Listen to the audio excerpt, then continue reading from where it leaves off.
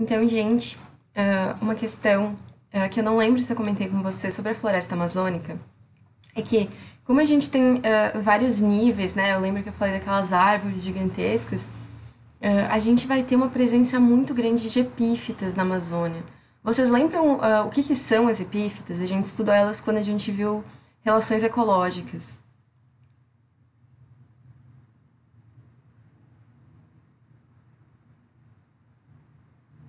As epífitas, elas vão ser plantas que elas uh, meio que usam um, uma outra, um outro vegetal como um espaço para se fixar. Só que o que, que acontece? Elas não são parasitas, né? Então elas basicamente usam isso para, lá, ficar mais alto para poder receber mais luz do sol. Porque se elas ficassem muito lá embaixo, elas provavelmente não receberiam uh, praticamente nenhuma luz, né? O que dificultaria a sobrevivência delas. Uh, eu até já ouvi relatos de colegas que foram para a Amazônia que dizem que tem espaços assim dentro da floresta que não tem como saber se é dia ou noite, porque é tão fechado e é tão úmido, assim, é, é um espaço muito diferente, chega a ser até mais frio, de tão microclima que se forma ali. Já quando a gente fala de cerrado, eu acho que teve uma palavrinha que eu esqueci de mencionar para vocês. Eu falei. Um, desculpa, quando a gente fala de Mata Atlântica, cerrado é o que a gente vai conversar hoje. Uh, eu falei para vocês, né, do desmatamento absurdo que acontece na Mata Atlântica e que vem acontecendo desde uh, a invasão do Brasil, né, pelos portugueses. E só que eu esqueci de falar para vocês uma palavrinha super importante. A Mata Atlântica, ela é um hotspot do Brasil. Prof, o que é hotspot? Calma, porque a gente tem hotspot na biologia e a gente tem hotspot na geografia.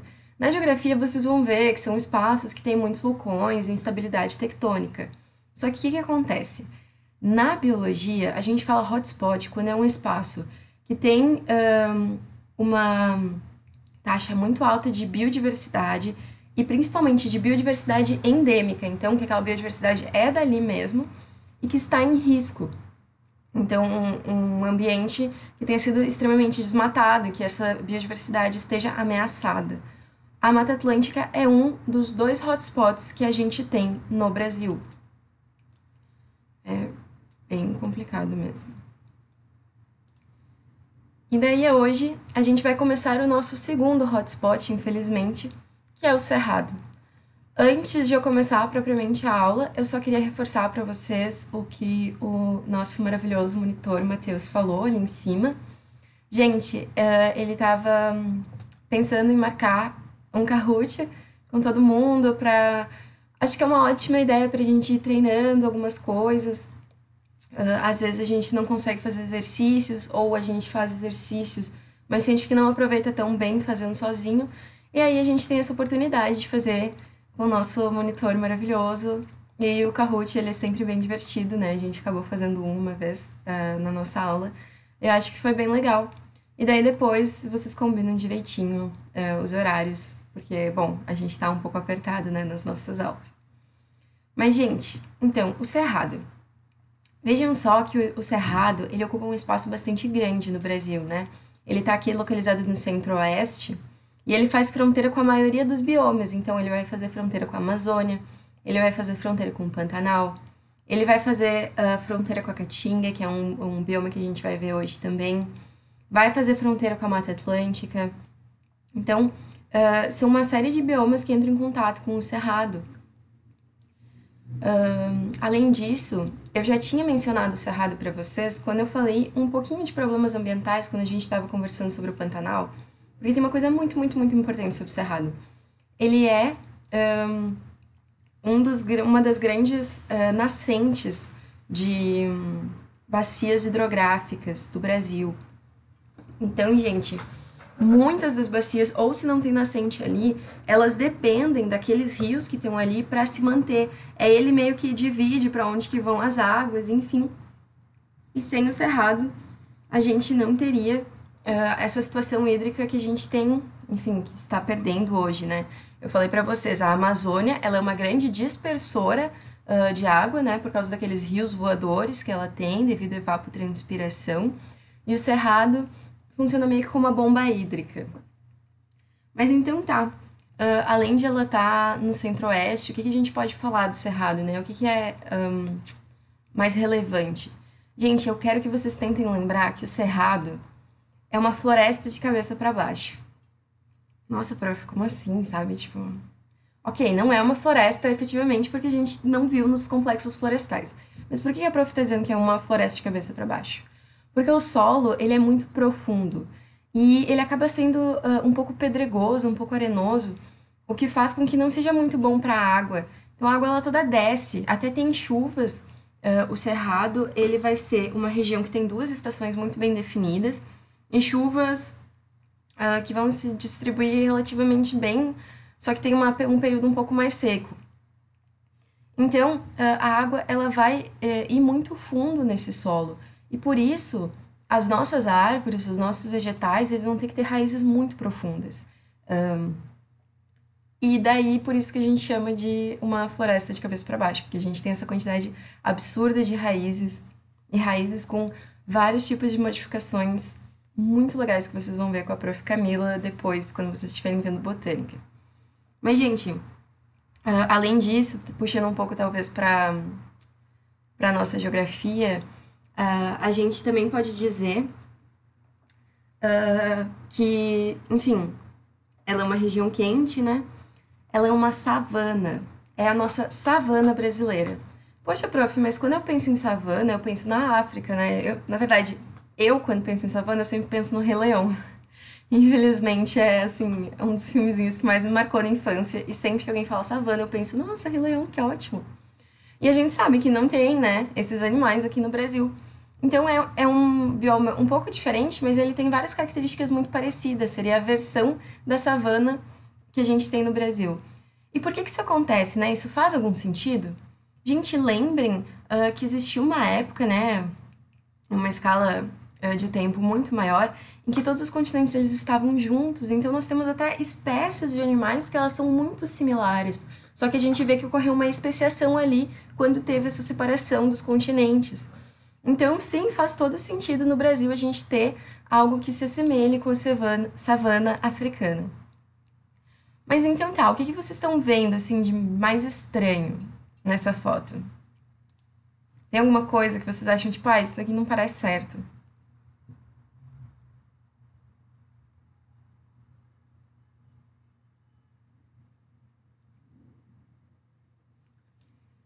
Então, gente, uh, o que sempre para mim chama atenção nas imagens do cerrado é que as árvores elas são meio tortas, elas são meio retorcidas. Por que, que isso acontece? Porque o solo, já falei para vocês que ele é um pouco arenoso, um, um, pouco pedregoso, então tem esse problema que a água ela vai percolar muito, né? Ela vai muito para baixo uh, no solo. Só que daí ela acaba levando nutrientes com ela também, o que faz com que uh, o solo ele seja pouco rico e ainda ele é ácido, porque ele tem uma concentração muito grande de alumínio. Gente, é por causa dessas altas concentrações de alumínio que as árvores elas vão ficar assim retorcidas. E também, às vezes, uh, por causa do fogo. Sim, o cerrado é o único, gente, frisem isso, tá? É o único bioma brasileiro que tem efetivamente uh, incêndios que são naturais. O que a gente está vendo em uh, outros biomas, como a gente viu uh, no Pantanal e na Amazônia, aquilo lá não é natural, tá? É tudo criminoso. Mas o Cerrado efetivamente tem, uh, naquela estação mais seca que eu falei para vocês, né? Tem uma estação mais seca e uma estação mais chuvosa.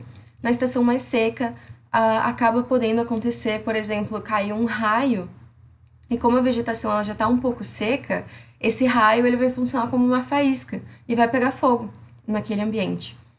Aí vocês vão dizer, ah, tá, então tudo o que está acontecendo, porque nós estamos vendo né, um aumento muito grande de queimadas no Cerrado, isso é normal, prof, isso acontece sempre. Não, gente, a gente está tendo um aumento desproporcional, né? Um aumento que, tipo, claramente alguma coisa está muito errada. O Cerrado tem sim incêndios naturais, porém a gente Uh, digamos que o ser humano está dando uma forcinha para esses incêndios, né? Então está complicando as coisas. E daí, por uma série de fatores que a gente já viu, essa questão do aquecimento global que está mudando uh, as condições atmosféricas, então está mudando a temperatura, mudando a pluviosidade, mudando os ventos. O fato de não chegar mais tanta água da Amazônia por causa do desmatamento, tudo está extremamente relacionado, gente.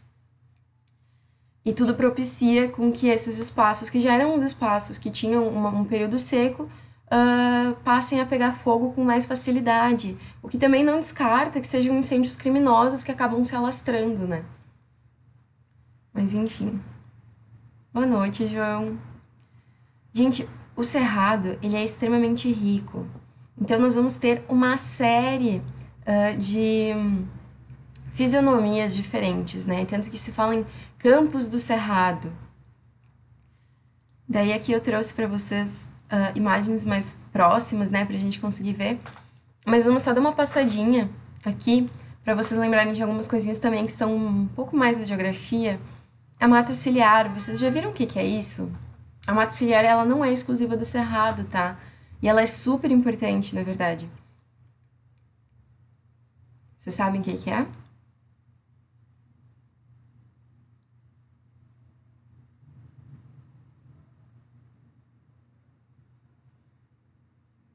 Boa, João, obrigada. Podem falar, tá, gente? Sem vergonha. Mas então, a mata ciliar, ela vai ser. Tá, aqui vai uma dica muito boba que eu falo, que eu penso, mas eu penso nos cílios mesmo, tá? Mas vocês já vão entender por quê. Porque a mata ciliar, ela fica ao redor de corpos d'água. Então, pensa que seu, ah, seu olho é um corpo d'água, né? Um riozinho que tá passando, e daí você tem a mata ciliar que fica ali ao redor. Tá, prof, que bobagem, mas por que isso é importante? Gente, porque essa mata, pensem que elas vão ter, as, essas, essas vegetações vão ter as raízes delas. Essas raízes, primeiro, elas vão segurar o solo, evitando com que ocorra o fenômeno do assoreamento.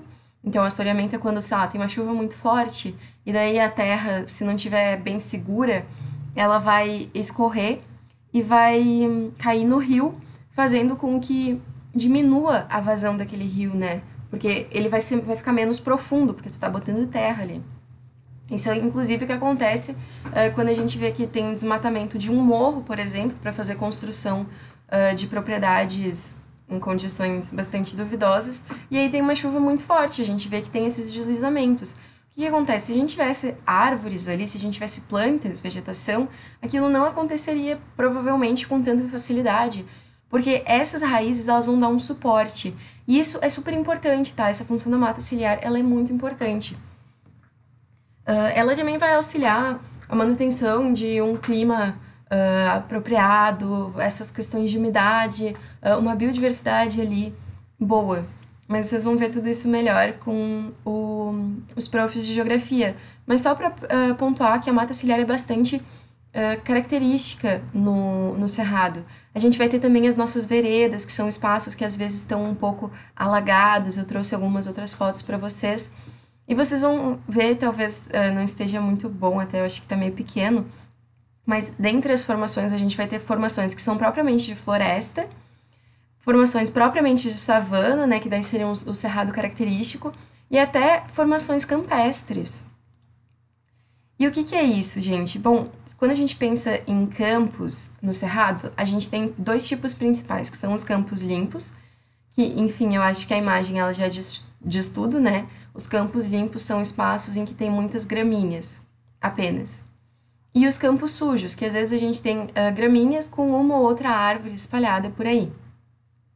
Gente, isso é muito característico de savana, tá? Essa uh, questão de ser plantas mais herbáceas, então com poucas arbustivas. E aqui, ó, a imagem da vereda que eu trouxe para vocês. E esse já seria um cerrado uh, propriamente dito, né? O cerrado clássico, com um pouco mais de árvores, mas vejam que também não é uma floresta. Nós temos uma série de animais endêmicos muito importantes e também muitos em risco de extinção, justamente também por esse espaço ser um hotspot, João, eu não sei se você chegou. Uh, acho que você chegou há pouco tempo, né? Você sabe o que é um hotspot?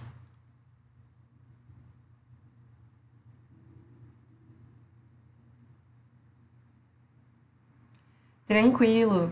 Uh, o hotspot na geografia é um pouco diferente, tá? Mas na biologia a gente fala daqueles espaços que têm uma biodiversidade endêmica muito rica e que estão ameaçados. Então, tanto essa biodiversidade vai estar ameaçada quanto o próprio uh, ambiente. Gente, vejam aqui O lobo-guará, olha que coisa linda, né? Virou aquele bicho estranho naquela nota de dinheiro, mas enfim. Aqui nós temos um tamanduá, gente, e olha só, ele está comendo uh, cupins num cupinzeiro. Os cupinzeiros são uh, bastante presentes no cerrado e eles são super importantes.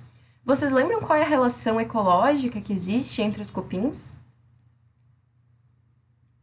Uh, enquanto vocês vão pensando, eu vou contando para vocês um dos motivos de por que, que esses cupins são importantes. Uh, pensem que eles vão construir túneis na Terra, né, quando eles vão se deslocando. Então, isso ajuda a, a aerar aquela terra, ajuda a criar espaços onde a água pode ficar sem descer diretamente. Então, uh, nota que são espaços que vão acabar sendo mais, mais férteis. Mas e aí? Relação ecológica dos cupins, gente.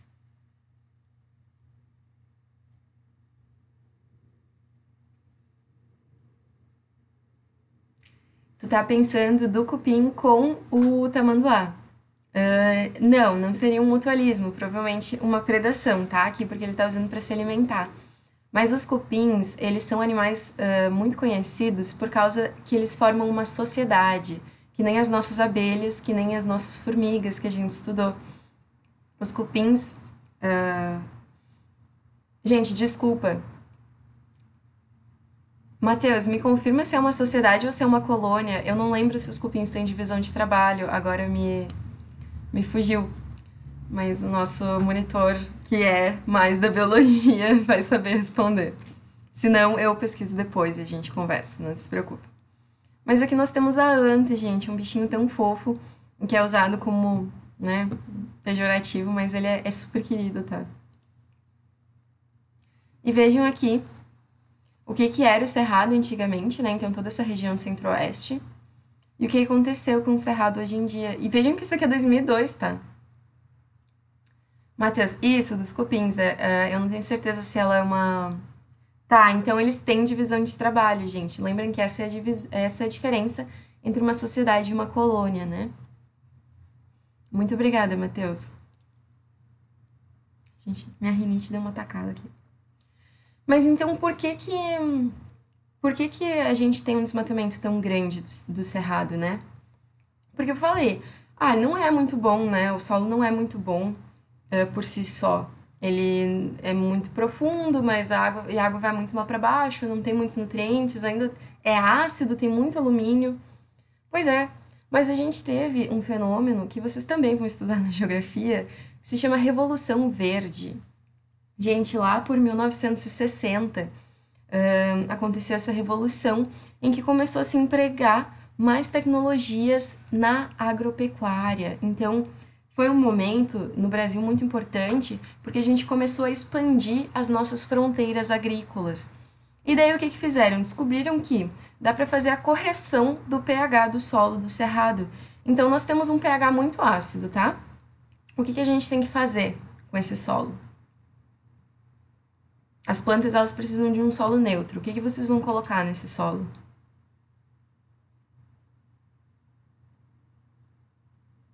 Vamos lá, galera, quem estuda química são vocês. Me ajudem.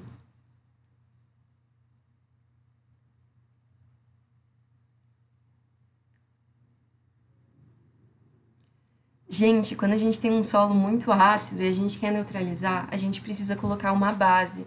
Só que o que, que acontece? Você não pode sair tacando, sei lá. Um... Nossa, me fugiu o nome mas enfim, você não pode sair tacando bases muito fortes no chão, porque daí senão vai ficar muito básico e não vai dar certo também, né? Precisa manter um pH relativamente próximo do neutro. Então, o que, que você vai fazer? A calagem. Um, porque o CaOH é, um, é uma base muito efetiva, né? E eles jogam esse pozinho branco aqui, é cal, corrige a acidez do solo, e daí dá para plantar soja, ou então pasto para o gado. E assim, isso, evidentemente, uh, além de destruir a biodiversidade vegetal e expulsar a biodiversidade animal que tem ali, acaba uh, sendo uma pressão muito intensa para o solo, né? Tu já está exigindo muito de um solo que já não é tão rico assim. Então, vai dar uma, duas, três lavouras e vai esgotar o solo. Até porque, geralmente, esses grandes uh, grandes cultivos não fazem rotação, né? O que prejudica ainda mais os nutrientes no solo. Alguma dúvida sobre o cerrado, gente?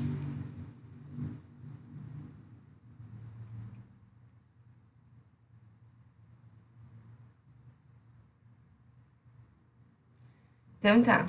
Podem, podem me parar se precisarem. Um, mas então, gente. Vamos ver agora a caatinga. Nossa, caatinga, que nome estranho. Pois então, é um nome que deriva de uma palavra indígena. Por que, que eu conto essas coisas para vocês, né? Porque, gente, às vezes é muito melhor a gente uh, tentar lembrar uh, de algumas características mais particulares daquele espaço do que a gente ficar tentando memorizar tudo como se fosse uma fórmula de matemática, tá? É, é muito complicado a gente lembrar de coisas que a gente não entende ou de coisas que não mexem com a gente. A, a, a memória, ela passa muito pelos sentimentos.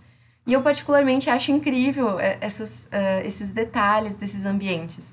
E também porque faz sentido para a matéria, tá, gente? Uh, Caatinga vem de uma palavra indígena que significa mata branca. Por que Mata Branca?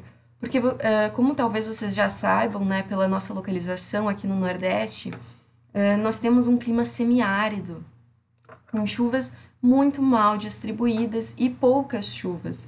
Então, até nossos rios, a maioria deles vão ser intermitentes, à exceção uh, do Velho Chico, né, o Rio São Francisco, que é um rio perene. Mas o que, que acontece? Quando tem essa estação de muita seca, a vegetação ela é adaptada, então ela sobrevive. Só que ela fica meio mirradinha. Eu tenho até uma foto para mostrar para vocês depois. E parece que é uma floresta toda branca. Então por isso o nome Caatinga, Mata Branca. Mas então tá, falei que é um semiárido, tem poucas chuvas. Uh, como é que a gente chama essas plantas que eu falei uh, que tem essas adaptações para viver no semiárido? São o que a gente chama de xerófitas. Vocês vão revisar isso com a Prof. Camila quando vocês virem uh, botânica, mas eu gosto de já trazer isso aqui, porque também, às vezes, quando eles cobram isso no vestibular, eles geralmente juntam, assim, com algumas características de biomas, porque é muito propício, né, gente? Então, uh, vejam só esse cactus, tá? O que, que será que o cactus uh, tem que fazer para sobreviver numa estação seca? Vocês, se vocês tivessem que ir para um lugar e dissessem, ah, olha só, não tem água lá, o que, que vocês fazem?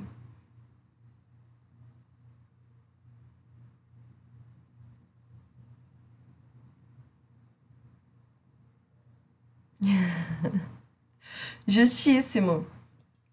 Mas então, como é que as plantas fazem isso? Como é que elas vão economizar água, né? Tipo, porque pensem, quando que a gente perde água? A gente perde água, primeiro quando a gente respira, né? Se vocês fizerem, vocês vão ver que é molhado, né? Tem essa umidade. E realmente é vapor d'água que a gente perde quando a gente respira. Mas também, principalmente, quando a gente transpira. Então, lembrem da evapotranspiração, os rios voadores da Amazônia. Isso, a evapotranspiração, ela não acontece somente com aqueles vegetais, ela acontece com todos. Só que a gente acaba falando muito, quando a gente fala de Amazônia, porque é, tão tanta vegetação, né, que acaba formando esses uh, rios aéreos. Mas aqui essas plantas elas também estão perdendo água por causa dessa evapotranspiração. E vocês viram em química que quanto maior a superfície, uh, mais reação a gente vai ter, né? Então, no caso a gente está falando de perder água, quanto maior a superfície, mais água a gente vai perder para o meio, mais água vai poder evaporar e ir embora. Então, o que, que elas fizeram, né? O que, que essa, a evolução acabou selecionando, né? Vamos parar de dizer o que, que elas fizeram, porque isso parece uma coisa muito lamarquista, né? A evolução, ela acabou selecionando uh, aquelas plantas que tinham as folhas menores. Então, aqui as cactáceas, se vocês me perguntarem, ai, mas cactos têm folha? Sim, gente, os espinhos são folhas modificadas. E, então, vejam que eles, eles são bem menores, né? Tem uma área bem menor. E também eles não vão ter um, uma organela característica que são os estômatos. Vocês vão ver tudo isso melhor, tá? Não se, não se assustem se vocês não souberem o que, que é. Uh, mas para uh, ah, essa evapotranspiração, nós temos essas aberturas, esses canais, na verdade, que abrem e fecham, que nós chamamos de estômatos. E o que, que acontece?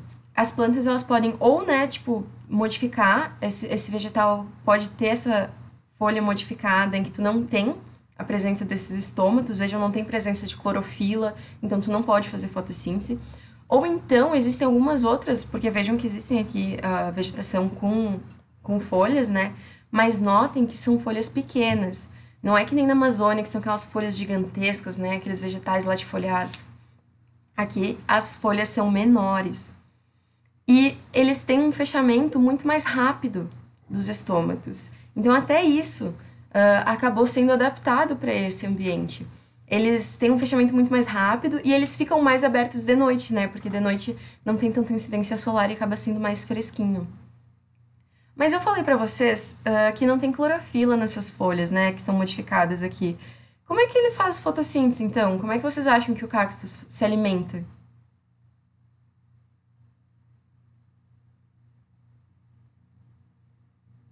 coisas que a gente nunca tinha pensado para refletir numa sexta-feira de noite, né? Como será que o cacto se alimenta? Bom, gente, ele continua sendo um vegetal, então ele continua fazendo fotossíntese. E lembrem que eu falei para vocês que fotossíntese a gente sempre vai pensar em o que está verde. Então nós temos o nosso caule verde. Uh, os cactos eles têm essa diferença, eles vão ter um, a fotossíntese no próprio caule deles. E eles também vão ter um jeito de guardar a água dentro deles, que é o parênquima aquífero, um tecido uh, que pode uh, guardar água. Tanto que se vocês algum dia estiverem no deserto, sei lá por qual motivo, e vocês precisarem de água, a recomendação é procurar um cactus, descascar ele, que nem a gente faz com abacaxi, e tentar cortar ele pela metade e espremer e ver se sai água. Às vezes dá sorte e dá muito certo, e às vezes, enfim, tava numa seca muito grande e não vai dar certo. Mas essas são as nossas xerófitas, tá? Não são apenas cactáceas, mas eu sempre falo dos cactos porque eu acho que é algo que a gente tem mais próximo, então que a gente acaba conhecendo um pouquinho melhor. Vejam aqui uh, como é diferente, isso aqui é o mesmo espaço, tá? Aqui na época em que tem chuvas, e aqui quando está em seca, vejam que realmente parece uma mata branca, né? É muito bonito. E também vamos uh, acabar com aquele preconceito que a gente tem de, ah, no sertão nordestino é tudo pobreza, é tudo aridez, lá não tem nada, é só areia. Não, gente, olha só como é bonito. Olha só essa vegetação uh, exuberante aqui. É só uma vegetação diferente, às vezes a gente acaba fazendo isso, né? Por ser diferente, a gente acaba se afastando. Mas não. E vejam todos esses animais amados, olha só o tatu-bola. O mocó, que é um animal de lá, que eu acho coisa mais doce do mundo, me lembra um cachorrinho que eu tive. Olha esse sagui, gente, na linguinha para fora. Todos esses animais, eles também têm adaptações para estar nesse ambiente que é muito seco, né? Pensem que essa secura, ela não vai afetar só a vegetação, ela também vai afetar os animais. Então, por exemplo, ah, como é que funciona para os peixes, né? Os peixes, eles costumam, na, na época uh, seca, eles vão subir pelo rio uh, ah, para a parte né, um pouco mais caudalosa, então que não vai sofrer tanto com essa seca. E daí é lá que eles botam os ovinhos. E aí, quando, depois de botar os ovinhos, eles voltam. E os ovinhos, quando nascerem, enfim, vão subir. Vão descer o rio de novo. Piracema. Gente, olha a arara azul aqui de novo. A onça parda, tá aí um bichinho que eu acho que vocês não conheciam, né? A onça parda. E o nosso próximo uh, bioma vai ser o Pampa. Só que a gente tem só cinco minutos. Então eu vou deixar para falar sobre Pampa e sobre Manguezal com vocês na semana que vem. E daí a gente encerra uh, os biomas brasileiros. Sobre os biomas um, mundiais, né? Eu vou dar sim um material para vocês, mas eu acho que eu não vou me reter tanto falando aqui em aula, uh, até porque quando cobram uh, biomas mundiais, geralmente vai ser na área de geografia, vocês vão ver isso também em geografia. E acaba que, enfim, a gente tomou bastante tempo conversando sobre os biomas brasileiros, que são mais importantes na área de biologia.